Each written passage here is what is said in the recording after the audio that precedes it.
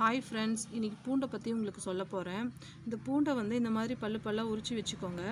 அதுலேருந்து ஒரு நாலு பல்லு பூண்டை மட்டும் எடுத்து பாலில் போட்டு கொதிக்க வச்சு குடிச்சிங்கன்னா கொலஸ்ட்ரால் இருக்கிறவங்க கொலஸ்ட்ரால் கம்மியாயிடும்.